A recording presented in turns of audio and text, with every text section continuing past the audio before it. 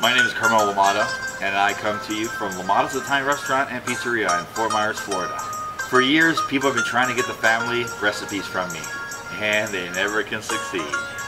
For the first time since 1979, I'm going to release some recipes from the vault. Yes, LaMotta's Vault, and you will get some recipes that we're going to be releasing today to you.